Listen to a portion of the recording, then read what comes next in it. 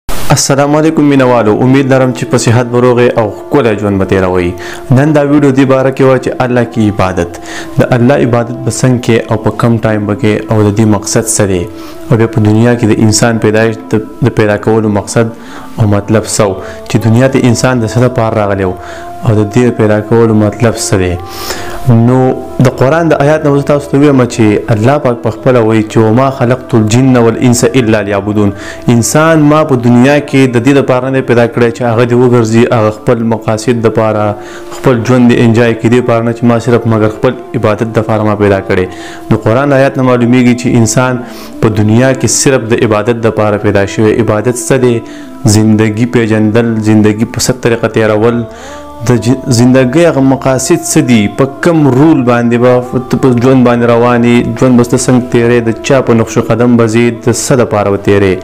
نو د الله په حکمونو به منې او د نبي علیه السلام په طریقې نو هله به ستا ژوند ټیک کیږي په ژوند کې که په دنیا کې په مال کې یا په بل څه شي کې څه مزه وی نو الله پاک به پیغمبرانو لور کړی وي یا به صحابه لور کړی وي د اغونه خکته کته وګوري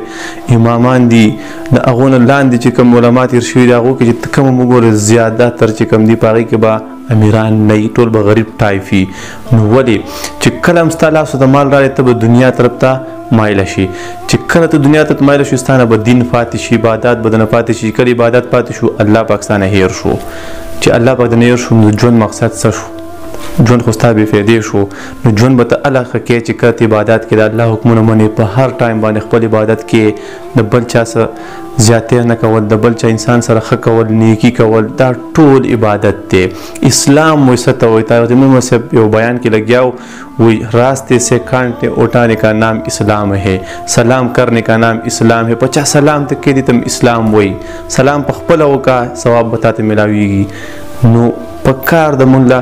چې د ژوند نه فایده والو فایده به څنګه اخلي چې دنیا ته شاته پرې په خپل پتا پس راځي ته نور کارونو څه ضرورت شو دنیا ته شاته کا مخکې ځا د الله طرف ته الله رضا لټاو په کم کار کې د الله رضا چې په هر کار کې چې تا ته ځان خخ کاری او کو بد کاری خود الله رضا بکې دا بنوي چې دین کوم زه تبلیغ کوم ما ځان شکل دقسې جوړ کو پلانکی به راپسې خاندي څوک به دا وي څوک به دا وي زه د غریب خدمت کوم ما پسې پلانکی خاندي خاندي دي هغه ته یې په ځان پسې وخانده د هغې نه به دا ښیي چې ته په ما پسې خاندې د دې په ځای ته په ځان پسې وخانده د ژوند دا نه دی چې ته وشرمېږي په دین باندې دا زیات خلک چې ته کوم ویني د دیو نه به مونځ قضایي په لارو کې په بازارونو کې په یو ځي بل ځي کې کوشش کوئ انسان ډیر کمزور دی خو انسان ضعیفه الله په خپل ویلي دي چې انسان کمزوری دی خو ځان به دومره لو لیول ته نه رسوي چې ستاسو نه هر کار پاتې شي الله پاک درنه ناراضي د جنې د دنیا چې یو سو ټایم ژوند دی مکمل چاته هیڅ پته نه دی خلک به وخت یو د ټماټر یو ګارانټي شته خو د انسان نشته هغه پته لګي یو مخکې ورځ کې یو الګ کوتلی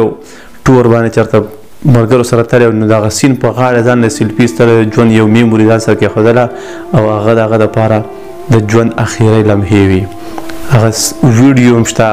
هغه تصویران هم شته اوس چلیږي خلکو سره په میډیا باندې هم چلیږي خو هغه ته دا پته نه و چې دا زما د لایف اخیری لمحې دي